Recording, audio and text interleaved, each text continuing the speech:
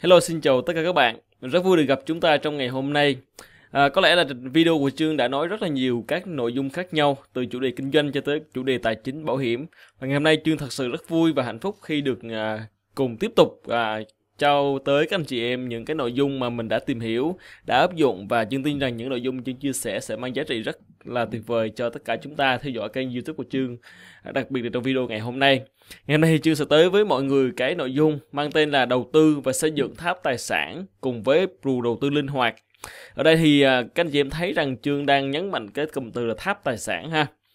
À, thì nếu như mà chúng ta muốn tìm hiểu kỹ về tài sản cá nhân thì anh chị em theo dõi những cái video khác của trường sẽ nói thêm về tài sản cá nhân, à, quản lý tài chính cá nhân, tháp tài sản cũng như rất nhiều những vấn đề liên quan đến tài chính mà trường đã học hỏi, đã tìm hiểu và sẵn sàng chia sẻ lại cho tất cả anh chị em. Và trong ngày hôm nay thì trường sẽ nhấn mạnh tới việc chúng ta đầu tư và xây dựng tháp tài sản cùng với pru đầu tư linh hoạt. À, chương tin đây là một cái nội dung rất cần thiết để chúng ta có thể tham khảo và chúng ta có những cái quyết định cho cái việc việc uh, xây dựng tháp tài sản của cái của cá nhân mình ha.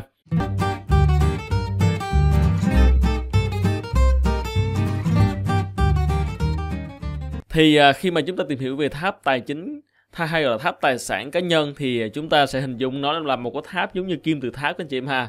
Thì cái kim tự tháp người ta sẽ xây dựng nó theo cái hình là ở phía dưới là nó to và trên trên cao nữa thì nó nhỏ dần dần. Thì đó là hình ảnh của một cái sự vững chắc rất là tuyệt vời mà chúng ta xây dựng. Thì à, dựa trên cái mô hình đó thì à, các à, chuyên gia tài chính họ phân tích ừ, tháp tài sản cá nhân cũng tương tự như thế. Thì chúng ta sẽ để ý rằng là tháp tài sản cá nhân chúng ta thì sẽ được chia thành hai dạng tài sản. Thứ nhất đó là tài sản vô hình tài sản vô hình là những thứ chúng ta không thấy được, là những thứ mà nó mang giá trị rất lớn nhưng mà chúng ta không thấy được nó. Nó giống như là một cái tòa nhà hay một cái tháp được xây dựng vững chắc ừ, phụ thuộc rất nhiều vào cái cái móng của tòa nhà đó hay là cái móng của cái tháp đó. Như vậy, khi mà chúng ta xây dựng tòa nhà hay xây dựng tháp thì chúng ta cần phải gia cố cái móng thật là vững chắc. Tương tự như vậy khi chúng ta xây dựng tháp tài sản cá nhân thì chúng ta cần phải xây dựng cái tài sản vô hình này càng lớn càng vững thì càng tốt điều đó sẽ giúp cho cái tháp tài sản chúng ta càng cao hơn và trong cái việc quản lý tài sản thì à, tài sản vô hình sẽ bao gồm ba cái yếu tố sau đây thứ nhất là kiến thức của chúng ta À, thứ hai là sức khỏe của chúng ta và thứ ba là mối quan hệ của chúng ta. Thật ra cũng có thể có nhiều thêm những cái vấn đề khác liên quan nhưng đây là cái ba cái vấn đề rất là cốt lõi để chúng ta xây dựng nên cái tài sản gọi là vô hình. Với kiến thức thì chúng ta cần phải trang bị phải xây dựng những cái kiến thức. À, chúng ta phải học tập những kiến thức liên quan đến chuyên môn của mình đi sâu vào chuyên môn và đi rộng hơn nữa để chúng ta có cơ hội giao tiếp với nhiều người. Và từ đó chúng ta sẽ phát triển những cái tài sản khác của chúng ta. Đối với sức khỏe là điều vô vô cùng quan trọng. Đây là cái điều mà chúng ta cần phải xây dựng phải đầu tư thời gian sức lực và tiền bạc cho nó để chúng ta gìn giữ sức khỏe của mình mỗi ngày càng à, tốt hơn tránh đi những ốm đau bệnh tật hay là tai nạn gì đó để mà cho chúng ta có một sức khỏe tốt để xây dựng tài sản của mình cũng như là sống ờ, cùng với gia đình của mình và một điều à, thứ ba nữa là mối quan hệ. À, mối quan hệ là những cái yếu tố giúp cho một yếu tố giúp cho chúng ta có thể là nhanh chóng thành công nhanh chóng có thể là xây dựng tài sản của mình. Và đó là cái điều rất cần thiết để chúng ta à, xây dựng tài sản của mình trong tương lai. Ở trên đó là ba cái cái à, cái lĩnh vực mà chúng ta cần phải đầu tư để chúng ta xây dựng tài sản vô hình. Và các anh chị em nghe tới đây các anh chị em cũng đã biết mình phải làm gì để có thể xây dựng tài sản này vô hình đúng không ạ? Và chương tin rằng khi mà chúng ta xây dựng tài sản vô hình này càng sớm càng nhiều càng vững càng à, chuyên sâu thì chúng ta chắc chắn sẽ là có một cái tài sản vững chắc cho mình trong tương lai. Rồi khi mà chúng ta đã xây xong cái nền móng là tài sản vô hình rồi thì bắt đầu người thợ xây bắt đầu xây lên những cái viên gạch đầu tiên để chúng ta là xây cái tháp của mình.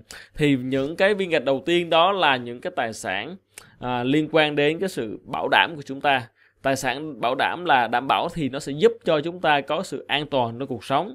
Và với tài sản đảm bảo này thì người ta thường có thể là liệt kê nó ba, là ba thứ sau đây. Thứ nhất đó là những cái gói bảo hiểm mà chúng ta có thể là bảo hiểm nhân thọ chúng ta tham gia. À, thứ hai là vàng mà chúng ta cất giữ và thứ ba là bất động sản để ở. Thì tại sao ba cái thứ này là ba cái điều cần phải có để mà chúng ta có một tài sản đảm bảo? Tại vì đối với bảo hiểm thì là một cái tài sản để cho chúng ta có thể là và bảo vệ trước các rủi ro trong cuộc sống. Tại vì những cái rủi ro liên quan tới bệnh tật, về tai nạn, phải nhập viện, ốm đau các kiểu, thì chúng ta phải tốn rất nhiều tiền. Mà nếu như chúng ta không có quỹ dự phòng chỗ này, thì chúng ta sẽ có nguy cơ là mất tất cả những cái loại tài sản khác của chúng ta. Chính vì vậy mà quỹ dự phòng của bảo hiểm rất là cần thiết để chúng ta có thể là giữ gìn tài sản của mình hiện tại cũng như trong tương lai. Cái thứ hai là vàng. Tại sao vàng là dạng tài sản đảm bảo? Tại vì vàng có tính thanh khoản rất là cao, có nghĩa là chúng ta có thể bán ở bất kỳ chỗ nào bán rất là nhanh luôn hà ở bất cứ thể chế nào ở bất cứ uh, quốc gia nào chúng ta đều có thể là sử dụng vàng bán vàng và trao đổi vàng. Cho nên vàng là một tài sản rất quan trọng và chúng ta rất dễ dàng để mang theo trong người khi cần thiết. Và đó là cái điều rất cần để chúng ta có thể là tích trữ vàng à, một phần nào đó cho tài sản của mình. Tất nhiên không phải tất cả nhưng chúng ta phải có vàng để dự trữ cho cho mình để mà chúng ta có một cái sự bảo đảm và thứ ba là bất động sản ở. Ở đây ở đây chương nói thì thật sự là sẽ có những anh chị em đã có nền tảng sẵn rồi. Chúng ta đã có nhà cửa từ gia đình để lại thì rất là tuyệt vời. Chúc mừng các anh chị em ha. Trong trường hợp nếu như chúng ta chưa có cái tài sản bất động sản ở ví dụ như chúng ta từ ờ, vùng quê lên thành phố để sống thì chúng ta không có sự có hậu thuẫn tốt về tài chính từ phía gia đình thì làm sao có nhà ở thành phố ở đúng không ạ? Thì chúng ta cần phải có kế hoạch trong việc xây dựng mua nhà à, để ở. Có thể là à, chúng ta mua nhà trả góp có thể là chúng ta làm sao để vay mượn thêm để chúng ta có đủ mà chúng ta có thể mua một căn nhà để ở từ đó chúng ta sẽ trả nợ dần dần. Tất nhiên đó là cái điều rất là cần thiết để chúng ta có sự đảm bảo trong cuộc sống mà dù sao chúng ta vẫn có nơi để về thì an toàn hơn là chỗ chúng ta thuê. Chúng ta thuê thì nó sẽ không có à, lâu dài và về phương diện tâm lý thì nó sẽ không có tốt bằng việc chúng ta có nhà riêng để ở tất nhiên ở đây là chương nói theo quan điểm cá nhân của mình cũng như những cái trải nghiệm của mình với à, với cuộc sống cũng như là một số chia sẻ của những người khác thì chương thấy bất động sản ở là một cái cần thiết. Một số anh chị em mà chúng ta hiểu biết về đầu tư nhiều thì chúng ta thấy rằng không nhất thiết chúng ta phải mua nhà ở chúng ta có thể ở thuê và chúng ta dùng tiền đó để đầu tư cho việc khác. Và và chương khuyến khích như vậy nếu anh chị em có đủ năng lực có đủ khả năng thì chúng ta cũng có thể làm như thế nha. Ở đây là chương chia sẻ trên phương diện cái nhìn cá nhân của mình ở người Việt Nam tâm lý của người Việt Nam cũng như là những cái trải nghiệm của mình với sự chia sẻ của những người khác mà chương thấy bất động sản ở là một trong những cái tài sản bảo đảm mà chúng ta cũng cần ưu tiên để xây dựng ha. Rồi à, tiếp theo đó là tài sản thứ ba cái tầng thứ ba là tài sản tăng trưởng ở đây một số người họ có thể dùng từ khác ha. Mà chưa dùng cái chữ là tài sản tăng trưởng. Ở đây là dạng tài sản mà nó nó nó có thể sản sinh ra tiền cho chúng ta hàng tháng hoặc là thậm chí hàng ngày hàng tuần hàng giờ. À, chúng ta có tiền từ cái tài sản tăng trưởng này. Và cái mức độ tăng trưởng của nó không quá là cao nhưng mà nó rất là đảm bảo để cho chúng ta có thể sự an toàn trong việc đầu tư. Thì với cái tài sản tăng trưởng này chúng ta có thể là hình dung nó có thể là à, cái thu nhập của chúng ta hay lương thưởng của chúng ta. Có thể là tiền gửi vào các quỹ uh, uh, tiền gửi vào ngân hàng chẳng hạn thì chúng ta sẽ có được cái lãi suất của ngân hàng.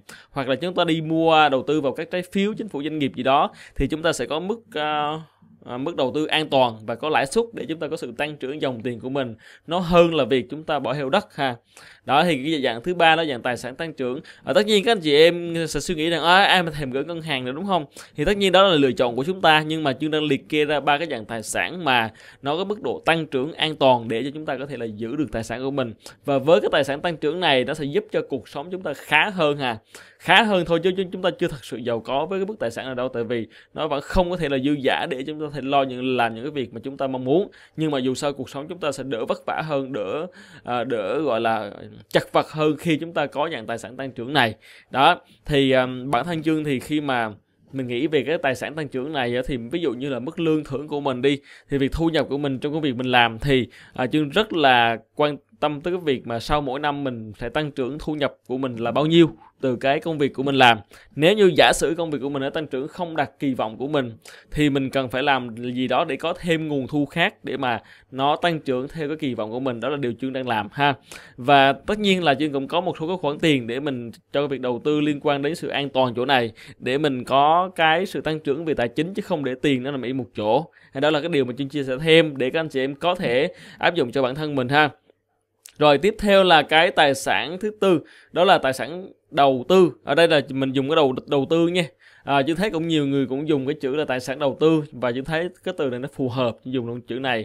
Thì tài sản đầu tư là dạng tài sản mà khi chúng ta đầu tư vào nó đổ tiền vào chỗ này thì nó sẽ tăng trưởng nhanh à, và nó sẽ giúp cho chúng ta giàu có hơn ha tài tài sản này tăng trưởng nhanh hơn và giúp chúng ta có thể giàu có hơn là tài sản ở bên dưới. Và đây là những cái ví dụ ví dụ như là tài sản có thể là quỹ mở. Chúng ta bỏ tiền ra tham gia vào các quỹ mở để mà họ đầu tư cho chúng ta. Chúng ta thể tự mua chứng khoán để chúng ta đầu tư. À, tham gia vào thị trường chứng khoán là một trong những cơ hội chúng ta có thể là giàu có nhưng mà nó cũng nguy cơ chúng ta sụp đổ ha. Và có thể là nếu chúng ta có tài chính lớn hơn thì chúng ta có thể là tham gia vào mua bán à, các bất động sản nền những cái dự án nền đó thì nó cũng khá là có sự tăng trưởng rất là tốt nếu chúng ta nắm chắc về pháp lý của nó ha thì đó là dạng ba cái gợi ý mà chương đưa ra để mà chúng ta có cái dòng tài sản đầu tư. Tất nhiên các anh chị em có thể là có cả ba cái này hoặc là có một trong ba hoặc có hai thì cũng tốt ha. Và như điều quan trọng là khi mà chương tâm nói tới đây thì các anh chị em bắt đầu có một cái hình dung rằng chúng ta cần phải đầu tư thời gian của mình để tìm hiểu những cái vấn đề liên quan đến quỹ mở chứng khoán cũng như bất động sản này để chúng ta có một cái tài sản nó đẹp hơn à nó vững chãi hơn và nó giàu có hơn và tất nhiên những cái tài sản phía trên này hồi nãy giờ mình nói ba cái là tài sản bảo này tài sản tăng trưởng cũng như là tài sản đầu tư thì đây là ba dạng tài sản hữu hình và tất cả ba tài sản này nó đều phụ thuộc vào tài sản vô hình bên dưới cho nên việc anh chị em đầu tư kiến thức vào đầu tư sức khỏe của mình đầu tư mối quan hệ của mình thì chắc chắn nó sẽ giúp cho chúng ta gia tăng những cái tài sản phía trên ha và cái cuối cùng là cái tài sản à, chúng ta có thể gọi nó là tài sản rủi ro tài sản rủi ro là những dạng tài sản mà giúp chúng ta giàu có rất là nhanh nha giàu có nhanh có thể trong một đêm nhưng mà hoàn toàn có thể bay trong một đêm. Ví dụ như thế x2 x3 trong một đêm và có thể là chia 2 chia 3 trong một năm là chuyện rất là bình thường trong đây. Thì những dạng đầu tư như là đầu tư về sinh là thị trường hàng hóa tương lai á hợp đồng tương lai á hoặc là chúng ta đầu tư vào tiền ảo crypto coin á ha. Và một số um, lĩnh vực đầu tư liên quan bất động sản là liên quan đến bất động sản du lịch. Tại sao bất động sản du lịch là một trong dạng đầu tư rủi ro cao? Tại vì nó phụ thuộc vào thời tiết phụ thuộc vào con người phụ thuộc vào rất nhiều yếu tố cho nên là nó cũng thuộc dạng đầu tư. Nếu như chúng ta không có tiền nhiều mà chúng ta đi vay để mà đi vô bất động sản du lịch thì rất là rủi ro cao ha. Thì đó, thì với chương thì cái tài sản rủi ro này thì mình vẫn có một chút thôi ha, nhưng mà nó mang tính chất là tham khảo và vui chơi hơn là việc đầu tư để kiếm giàu đi làm giàu, tại vì nó rủi ro rất là cao. Và đồng thời dòng tiền dư của mình nó không quá nhiều để mình để vô đây. Cho nên chương tham gia vào thị trường rủi ro này nó giống như là một cách để mình vui chơi trong cái cái việc đầu tư mà thôi à đó, thì à, đó, trên đó là cái tháp tài sản mà chương chia sẻ với tất cả anh chị em. Và chương tin rằng đây là tháp tài sản vô cùng quan trọng cho chúng ta khi chúng ta nghĩ đến vấn đề tài chính cá nhân, nghĩ đến việc là xây dựng sự đảm bảo về tài chính cho gia đình của mình. Và tất nhiên có nhiều những trường hợp những bạn trẻ họ nghe cái video này họ sẽ không thích, tại vì họ không có thích quan tâm đến à, sức khỏe nào, mối quan hệ không cần thiết làm online là ok không cần con người đâu. Rồi họ không quan tâm tới bảo hiểm vàng bất động sản ở là là phù du không cần thiết. Họ chỉ thích cái gì à liên quan tới chứng khoán hoặc là tiền coi tiền ảo mà thôi tại vì nó sẽ giúp cho họ giàu có rất là nhanh. À, tất nhiên là chưa không có chia bai những người đó nha nhưng mà chưa nói rằng điều đó rất là rủi ro cho chúng ta khi chúng ta xây dựng như thế. Tại vì tại vì thị trường trong tương lai chúng ta không biết được nó sẽ như thế nào. Nếu chúng ta không có nền tảng về kiến thức nếu chúng ta không có xây dựng nó theo đúng cái nguyên tắc này thì chúng ta rất là dễ vỡ. Giống như là việc chúng ta xây nhà mà chúng ta không có làm cái móng cho này móng như vững chắc như vậy chúng ta xây hoặc là chúng ta à, chỉ đổ một ít bê tông bên dưới thôi mà không có sắt hết trơn sau đó chúng xây năm bảy tầng lên thì gió qua là rất là dễ ngã. Thì cũng như thị trường khi nền thì nó bão táp thị trường thì chắc chắn chúng ta sẽ rất là dễ bay luôn tài sản của mình. Chính vì vậy mà việc một người thông minh thì chúng ta cần phải suy nghĩ tới những cái rủi ro có thể xảy ra trong việc đầu tư. Mà chúng ta xây dựng tháp tài sản đúng quy trình như thế này thì chắc chắn là chúng ta sẽ có sự đảm bảo trong cuộc sống và điều đó sẽ giúp cho gia đình chúng ta trở nên tốt hơn mỗi ngày ha.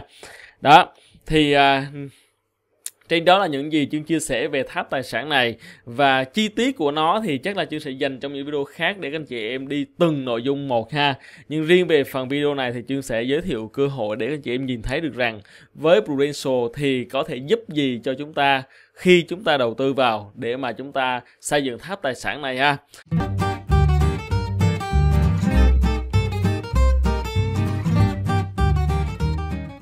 Rồi, À, bây giờ chúng ta sẽ quay trở lại với tài sản vô hình thì chúng ta ai cũng đã có rồi và các bạn đã đang và cũng sẽ xây dựng nó tiếp tục mỗi ngày và chương chương hy vọng rằng các anh chị em sẽ dành thời gian cho việc xây dựng tài sản vô hình.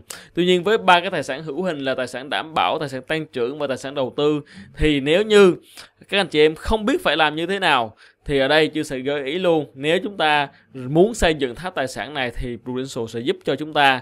Đó là một giải pháp liên quan đến tới việc bảo hiểm và đầu tư, mang tên là Pru đầu tư linh hoạt.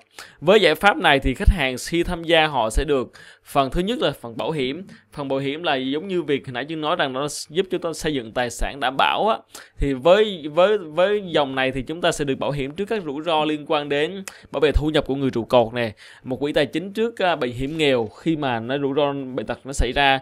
Quỹ tài chính trước uh, tai nạn hoặc là quỹ tài chính để bảo lãnh viện phí khi chúng ta phải nhập viện vì một lý do nào đó. Và có thể là hỗ trợ à, thu nhập tạm thời khi chúng ta tạm thời không đi làm vì bệnh tật hay là tai nạn. Đó là một quỹ bảo hiểm chúng ta để chúng ta có thể là à, à, sử dụng khi cần thiết. Tất nhiên không ai muốn điều đó xảy ra nhưng nếu nó xảy ra thì chúng ta phải có quỹ dự phòng này để chúng ta đảm bảo rằng tháp tài sản chúng ta vẫn vững ha rồi, bên cạnh đó thì cái dòng tiền khi chúng ta đưa vào pool đầu tư linh hoạt này thì sẽ mang đi đầu tư.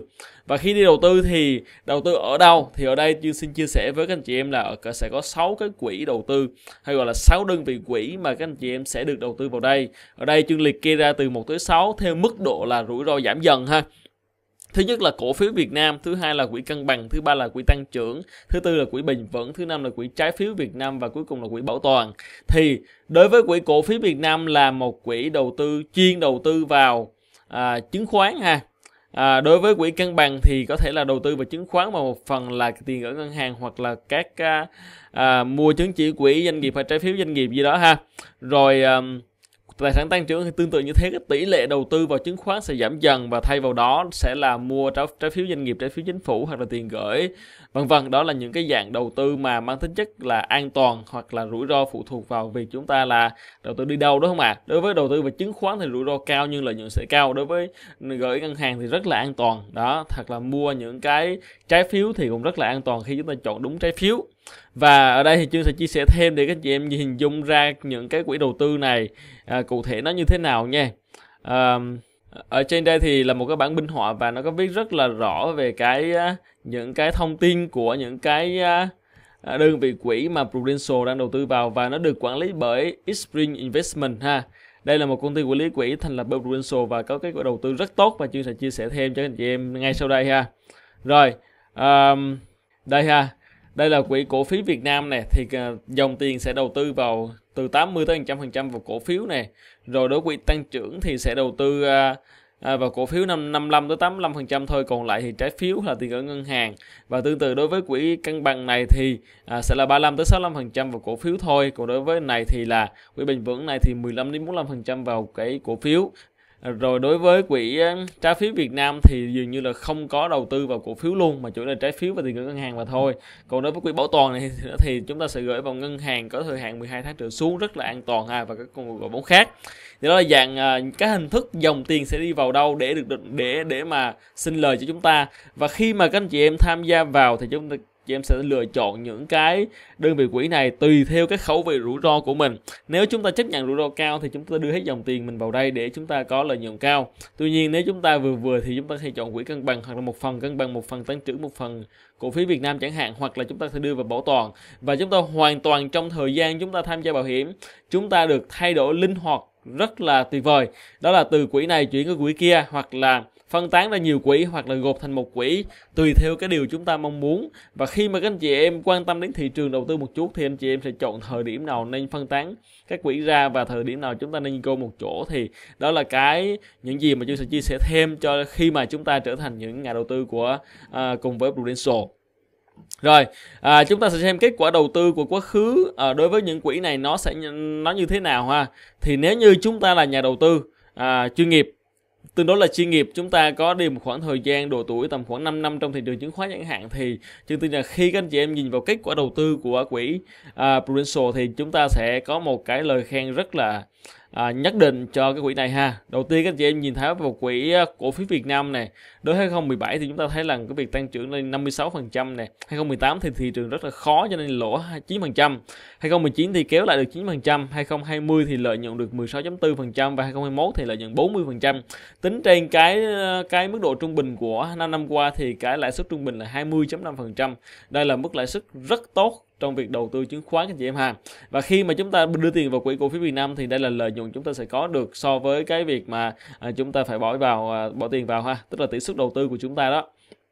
Rồi um, À, tương tự à, những cái quỹ tăng trưởng ví dụ quỹ tăng trưởng thì lãi suất trung bình của nó trong 20 năm qua sẽ là 17.5% và đối với quỹ cân bằng là 14.9 đối với quỹ bình vững thì là 12.2 còn đối với trái phiếu Việt Nam thì 8.1 đối với quỹ bảo toàn thì là 4.8 đây là cái à, mức độ à, gọi là lãi suất trung bình giảm dần theo cái từng quỹ đúng không à thì như vậy thì chúng ta rõ ràng chúng ta nhìn thấy được việc đầu tư của à, quỹ cổ phiếu Việt Nam vẫn là tốt nhất trong 5 năm qua. À, tất nhiên là rất nhiều những người bạn trẻ khi mà tham gia vào đây thì họ bỏ dường như là trăm phần trăm vào cổ phiếu Việt Nam. Nhưng với chương thì khẩu vị rủi ro chứ không như thế chương bỏ một phần vào đây mà một phần tăng trưởng. Đó là cái mà mình lựa chọn mà thôi ha. Và chương à, làm rõ luôn là đây là những con số à, thực trả cho khách hàng sau khi đã trừ đi chi phí quản lý quỹ ha. Chi phí quản lý quỹ thì nó dao động từ từ một chấm mấy cho tới 2.5 phần trăm tùy theo quỹ đó thì đây là sau khi đã trừ đi chi phí quản lý quỹ rồi thì chúng ta thu được cái tỷ suất đầu tư là như thế. Và chưa nghĩ rằng à, với những cái tỷ suất đầu tư như thế này và chúng ta không cần phải tìm hiểu quá kỹ về đầu tư chứng khoán chúng ta không phải là chuyên gia chúng ta phải lo việc của mình nữa. Mà việc bỏ tiền vào đây và kết quả như thế này thì chúng thấy rất tuyệt vời khi mà chúng ta đầu tư rồi. Và chương nghĩ rằng có rất rất nhiều người tự đi đầu tư chứng khoán và chúng ta rất khó để có được mức lãi suất mức à, cái, cái, cái tỷ suất lợi nhuận tốt như thế này ha đó là cái mà chương chia sẻ thêm để các anh chị em có thể là hiểu rõ hơn về kết quả việc đầu tư sau 5 năm nhìn lại ha. Đó thì uh, đó là chương làm rất là kỹ để anh chị em thấy cái việc đầu tư vào đầu tư linh hoạt này. Có 6 cái lựa chọn này để chúng ta đưa vào cái tháp tài sản của chúng ta. Ví dụ như chúng ta chọn hết vào cổ phiếu Việt Nam thì rõ ràng là chúng ta đang sai cho cái cái đầu tư tài sản đầu tư này này nhưng nếu chúng ta bỏ một phần vào bình vững thì chúng ta đang sai cho cái tăng trưởng này. Đó, hoặc là trái phiếu Việt Nam thì chúng ta đang sai cho cái cho cái tăng trưởng này. Đó, rồi à, đôi khi là quỹ bảo toàn này thì nó nằm trong tài sản đảm bảo luôn ha thì đó thì đó là sáu cái lựa chọn này á. Sáu lựa chọn này thì nó sẽ giúp cho chúng ta xây dựng ba tầng của tài sản hữu hình này một cách rất là hiệu quả. Đó thì à, cái giải pháp đầu tư linh hoạt này chương nói tổng quan như thế để các chị thấy rằng nó là cơ hội để chúng ta xây dựng tài sản cá nhân của mình.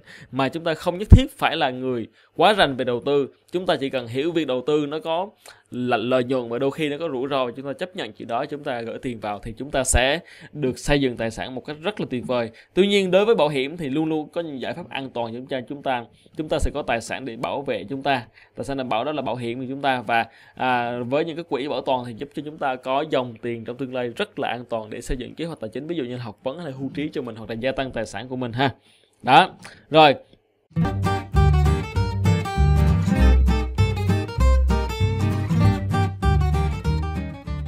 Ở đây chưa sẽ lấy một ví dụ như thế này đối với anh Nguyễn Văn A đi ha. Ví dụ như thế, anh là kỹ sư công nghệ thông tin, ví dụ lập trình chẳng hạn, và anh sinh năm ngày 5 tháng 5 95 à, tình trạng hôn nhân là độc thân và giả sử như phân tích tài chính của anh Nguyễn Văn A thì anh có thu nhập là 30 triệu một tháng. Anh chi tiêu sinh hoạt à, hàng tháng vì một mình sống mà sống một mình độc thân thì ăn uống đâu đó khoảng là 8 triệu là chi tiêu này ok đủ cho anh này. Và giả sử như anh đang mua một căn nhà trả góp và anh mỗi mỗi tháng phải góp 7 triệu để trả góp. Và như vậy thì ừ, rõ ràng mỗi tháng anh sẽ dư ra một dòng tiền ít nhất là 15 triệu mỗi tháng sau khi trừ được các chi phí cố định cần phải trả đó không ạ? à? Là anh anh đã dư 15 triệu rồi. Thì với 15 triệu này anh phải làm gì? Nếu như chúng ta không biết đầu tư thì chúng ta để nguyên đó. Thì chúng ta phải giữ được tiền nhưng mà nó sẽ không có là thông minh. Chúng ta sẽ dùng 15 triệu là dòng tiền của anh A để chúng ta phân tích có thể là anh A sẽ làm gì để có thể là đầu tư để xây dựng tài sản của mình ha. Rồi ở đây chúng ta thấy đây là tháp tài sản và đây là những cái gợi ý cho việc à, đầu tư à, xây dựng tháp tài sản của mình nha. Thì đối với à, à, 15 triệu thì anh A có thể là dùng 3 triệu đồng. 3 triệu này anh đang dùng để tập trung vào việc học hỏi thêm kiến thức, mua sách, mua khóa học, tham gia khóa học để chúng ta học mỗi tháng là khoảng 3 triệu hoặc là mua những cái dụng cụ liên quan tập thể thao hoặc là trả phòng tập vân vân hoặc là cả các bữa cà phê để xây dựng mối quan hệ chất lượng với những người xung quanh. Đó thì 3 triệu mỗi tháng thì chương tin rằng cũng có thể là đủ cho chúng ta cho việc chúng ta xây dựng những cái tài sản vô hình như thế này. Rồi, tiếp theo là đối với cái ba cái tài sản hữu hình phía trên thì anh đang có thể dùng cho 10 triệu 10 triệu để đầu, đầu tư và xây dựng tài sản đảm bảo, tài sản tăng trưởng và tài sản đầu tư. Và phần còn lại khoảng 2 triệu thì anh na có thể là vì trẻ mà cho nên là dùng tiền để chơi coi chẳng hạn thì anh sẽ bỏ làm 2 triệu vào mỗi mỗi tháng vào cho cái tài sản rủi ro này. Để đôi khi nó phất lên thì chúng ta vẫn có tiền đúng không ạ? Còn nếu nó mất đi thì chẳng ảnh hưởng ảnh hưởng gì tới cuộc sống của mình. Đó cho nên chưa đây là một gợi, gợi ý nha. Ở đây là một gợi ý cho Anna để Anna có thể là đầu tư tiền và xây dựng tháp tài sản cá nhân của mình. Rồi, với cái dòng tiền 10 triệu để mà à, vào bảo hiểm vàng bất động sản ở thu nhập tiền gửi trái phiếu quỹ mở vân vân á, thì à, với Anna thì bất động sản ở đã có rồi đúng không ạ? Thì chương sẽ phân 10 triệu này ra thành hai dạng. Dạng thứ nhất là 5 triệu là chương gửi cho Anna Anna có thể là mua một chỉ vàng để cất đó hoặc đầu tư vào vàng. Đó, đại khái là mua vàng để giữ cho bản thân mình, vì đây là một tài sản đảm bảo và rất cần thiết cho Anna. Như vậy, nếu một một tháng một à, một chỉ vàng thì một năm anh có 12 chỉ vàng, hoặc hơn một cây vàng cho mình để mình giữ trong tay mình. Và sau 10 năm thì là bao nhiêu tiền à? Rất nhiều tiền, đúng không thì nếu như Anna kỷ luật trong việc này thì Anna sẽ có một cái số lượng vàng rất là tốt để mà có sự đảm bảo cho cuộc sống của mình. Và thứ hai, đó là 5 triệu đồng Anna sẽ đầu tư vào đầu tư linh hoạt của Prudential. Với 5 triệu đồng thì chúng ta thấy rằng là Anna sẽ có được cái số tiền mỗi năm tích lũy cho việc đầu tư vào product đầu tư linh hoạt đó là 60 triệu 12 nhân năm 60 là 12 tháng nha. Mình trừ lương, tháng 13 ra coi như là tiền lì xì cho bố mẹ lì xì tết chưa chứ không nói tính 12 tháng thôi. Thì Anna sẽ có là dòng tiền là 60 triệu mỗi năm vào cho cái à, giải pháp đầu tư linh hoạt. Thì ở đây chương sẽ phân ra 60 triệu thành hai dòng tiền. Dòng tiền thứ nhất là Anna sẽ đưa vào phí bảo hiểm cơ bản để được bảo vệ cũng như là được tích lũy trong tương lai. Và hai và 40 triệu còn lại là dòng tiền để đầu tư thêm để mà anh ai có thể là gia tăng tài sản của mình. Như vậy đối với phí cơ bảo hiểm cơ bản này là 20 triệu một năm, còn đối với phí tích lũy này là là 40 triệu một năm. Ở đây là chúng tôi ví dụ như là 60 triệu của a, nhưng mà chúng ta hoàn toàn có thể linh hoạt. Đôi khi Anna chỉ cần đóng 20 triệu này vẫn được bảo hiểm và vẫn có dòng tiền tích lũy, nhưng nó không nhiều. Nhưng mà anh a bỏ thêm 40 triệu nữa vào để mà Anna có thêm được tích lũy và đầu tư một cách hiệu quả.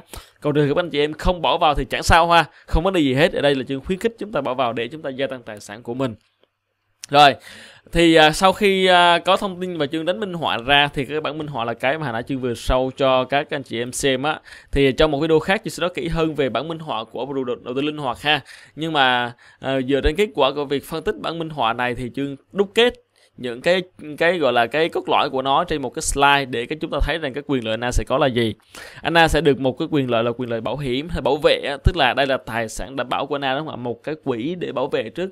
Ví dụ như là quyền lợi bảo vệ tử vong do bệnh là 500 triệu quyền lợi do do tai nạn là 1 tỷ quyền lợi thương tật mất khả năng lao động là 500 triệu hợp 1 tỷ tùy theo cái trường hợp lý do ha.